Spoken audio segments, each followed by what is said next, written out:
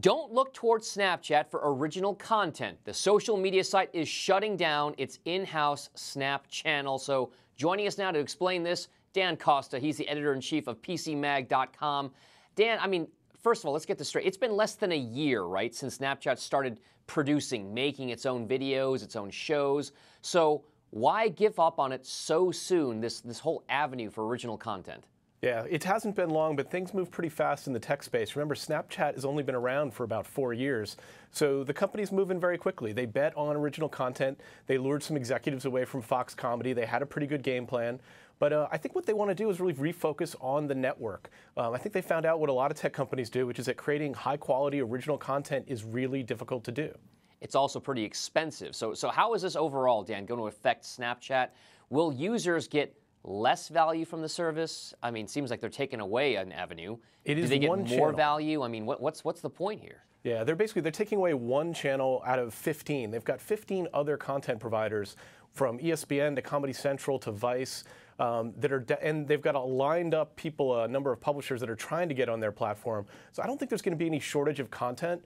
Um, I think that they, what they should do is let the content creation, leave it to the professionals, work on the platform, be there for them, and um, I don't think there's going to be any shortage of people trying to get on that network. Uh, they're serving up four billion videos a day uh, every day to their 200 million users. So there's a there's still a huge, huge network there to be taken advantage of. All right, I mean, it seems like in some small way, or maybe even a larger one, the move that it really just underscores this challenge of luring new customers with original content.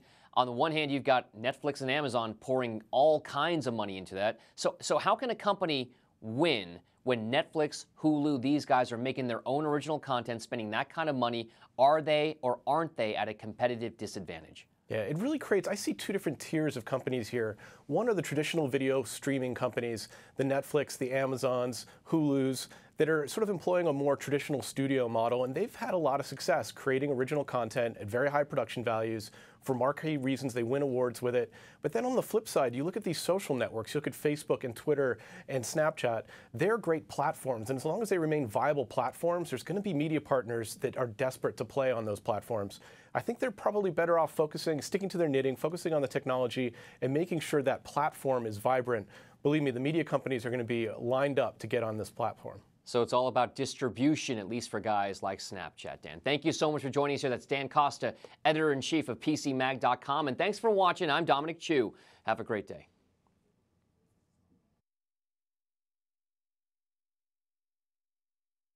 Hey YouTube fans, I'm Landon Dowdy from CNBC. Thanks so much for checking out our channel. Here you'll find videos packed with all the info that you need to be smarter about your finances. Be sure and subscribe by clicking right here and click on all the videos around me to see CNBC's original series Young Money, Tech Bet, Cramer's Mad Money, and all the latest from CNBC.